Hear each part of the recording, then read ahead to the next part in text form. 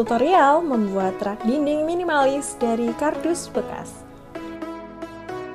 Pertama, siapkan potongan kardus berukuran 15 x 10 cm sebanyak 3 lembar.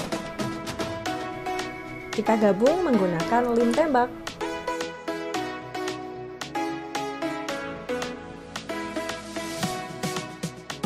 Buat lagi, sama persis sebanyak 3 pasang.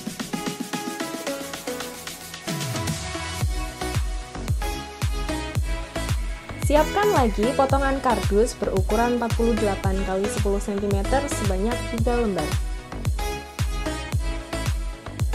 Lalu digabung sama seperti tadi.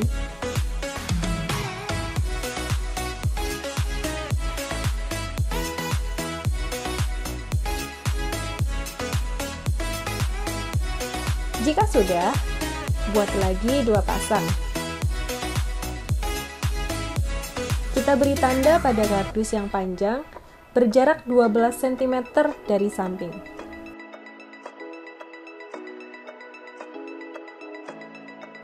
Saatnya kita rangkai mulai dari bagian bawah dulu.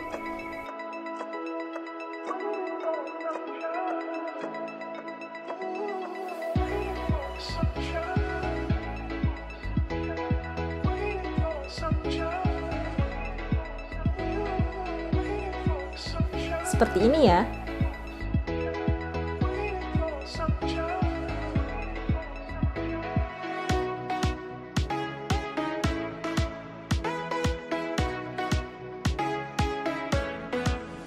Lanjut, rangkai bagian atas.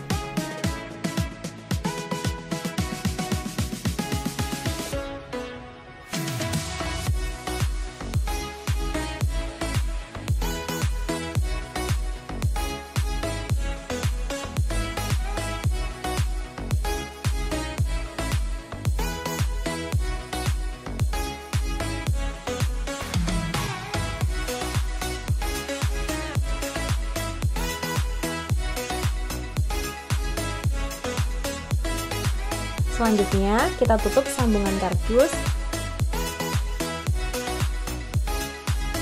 Siapkan potongan kardus berukuran 6 x 10 cm sebanyak 6 lembar, lalu kita kupas semuanya.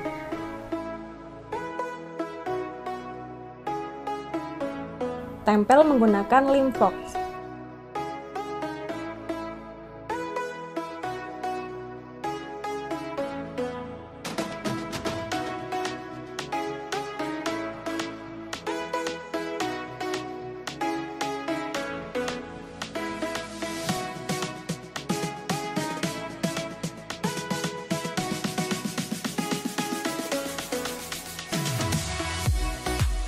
Setelah itu, kita tutup pori-pori kardusnya.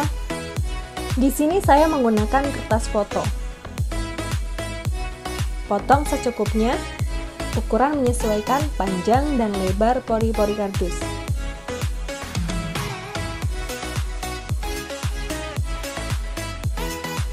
Tutup semuanya ya.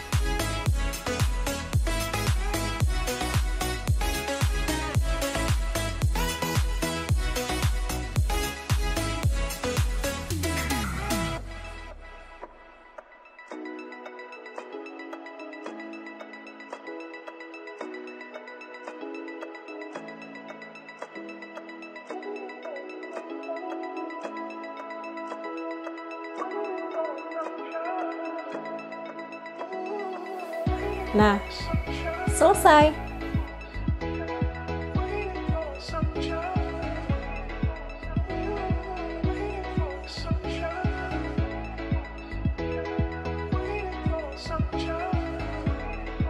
Terima kasih sudah menonton tutorial ini. Semoga bermanfaat dan sampai jumpa di tutorial selanjutnya.